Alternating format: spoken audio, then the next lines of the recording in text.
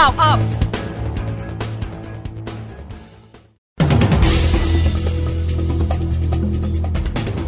8นาฬิกา 15 นาที นายกรัฐมนตรีนำคณะเดินทางลงพื้นที่จังหวัดเพชรบุรี ตรวจเยี่ยมการบริหารจัดการน้ำที่มาจากเขื่อนแก่งกระจาน8นาฬิกา 36 นาที เจ้าหน้าที่ระดมรถแบคโฮขุดลอกขยายคลอง 3 รองรับการระบายน้ำจากเขื่อนแก่งกระจานลงแม่น้ำเพชรบุรี8นาฬิกา 48 นาที ที่จังหวัดสุรินทร์ชาวบ้านผวาเสี่ยงไฟช็อตตายรายวันเสาไฟฟ้าแรงสูงล้มระเนระนาดนานกว่า 4 เดือน ไร้หน่วยงานเหลียวแล ล่าสุด8นาฬิกา56 นาทีตำรวจกองปราบปรามผนึกกำลังตำรวจสภ.สะเดาบุกรวบนักพนันไฮโลและไพ่หลังลักลอบเปิดเล่นในงานศพ